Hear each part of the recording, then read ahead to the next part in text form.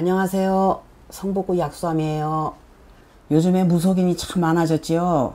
어, 많아진 만큼 무속인한테 해가 되는 무속인도 참 많아졌어요. 그래서 오늘은 어, 제가 한 25년 동안 무속인을 하면서 보아왔던 무속인의 꼴불견을 조금 말씀드리려고 합니다.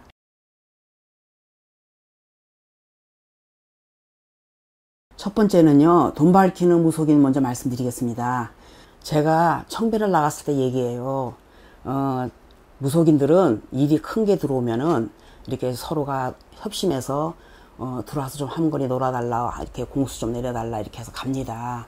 분명히 큰 곳인 줄 알고 갔는데 음식도 그렇고 육아도 그렇고 차린 것이요. 음식은 과일도 싱싱하지도 않고 조금 차리고 육아를 해야 되는 겁니다. 그런데 어, 비스게트하고 과자하고 이렇게 올려놓고서 사람들이 먹어야 된다 하면서 그거를 이렇게 중간에 놓고서 하는데 제가 볼 때는 너무 초라했습니다. 민망하기도 하고 어떻게 이렇게 어, 영감하다 소리를 더 들어야지 욕심을 내고서 어, 초라한 상을 차렸을 적에 아 다시는 여기 오지 말아야 되겠구나 왜냐하면 무속인들이 안정제 같은 역할도 하고 또 피로회복제 같은 역할도 해줄 수 있는데 정성껏 해가지고 욕심을 좀 비우고 같이 이렇게 좀 진실되게 정성껏 이렇게 손님들이 신뢰감이 가게끔 그렇게 했으면 참 좋겠어요.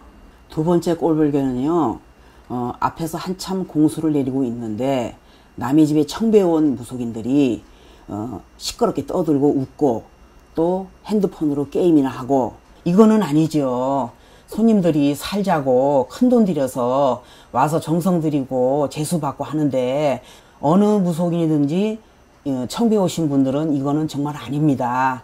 이거는요 우리 집에 손녀도 이거는 눈치가 있고 합니다. 이거는 인성교 무당의 인성교육이 안 돼 있어서 이러는 거니까 꼭 고쳤으면 합니다.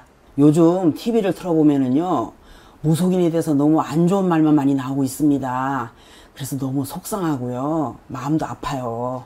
이럴 때일수록 어, 무속인들이 몸가짐을 바로 하고 또 말조심도 하고 기도에 정진하면서 사람들에게 신뢰를 받고 존경을 받는 무속인이 됐으면 해서 제가 오늘 이런 말씀을 드렸습니다. 감사합니다.